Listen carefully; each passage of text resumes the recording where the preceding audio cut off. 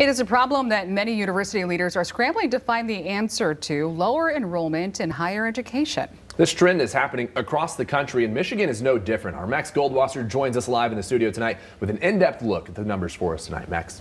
Yeah, guys, you might be thinking that this is something to do with the pandemic, right? People choosing a different career path, taking a non-traditional route. But this is a trend that started well before the pandemic. We're going to take a look at the numbers from the Michigan Association of State Universities. This is from 2012 to 2021. And just look at the decline here from most of these universities. 15 are on the list, and only three of them saw an upward uh, trajectory. That's Michigan State in the green, Michigan in the yellow here, and then Michigan Tech that's in the black there. Everyone else is going the other direction. And two of the universities with the biggest enrollment declines, Western Michigan and Central Michigan. WMU, you see it right here, a 24% decrease in the last 10 years for enrollment. And then Central Michigan University, 44.5% decrease, the largest in the state. In fact, a group of CMU students co-authored a letter in the campus newspaper saying that they are worried the university won't even be around in the next 10 years. CMU already had to shut down four residence halls for the next semester. And the school's vice president of student recruitment and retention said CMU failed to make any changes even after, after they recognized the trend.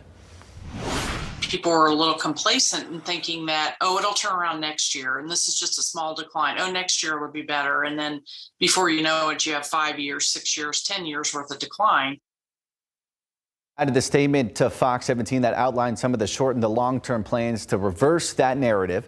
Some of the plans include training admission staff on how to approach recruiting conversations from a sales and marketing approach, implementing accountability metrics, and setting specific weekly goals for the number of deposits by prospective undergraduate students, and reinstating our student call center for peer-to-peer -peer conversations with prospective undergraduate students, among some of the other things. And you can find her full statement right now on fox17online.com. Meantime, while this is all happening at universities, the opposite trend can be seen community colleges in the area. I mean, check out the stark difference here. GRCC, Grand Rapids Community College, a 4.4% increase from fall 2020 to fall of 2021. And then Kalamazoo Valley Community College with a remarkable 49.6% uh, increase in that same window. It's pretty impressive there. And I did reach out to staff at KVCC to learn more about that trend didn't hear back from them, but in a story we did back in September with GRCC, officials there told us that they credit the jump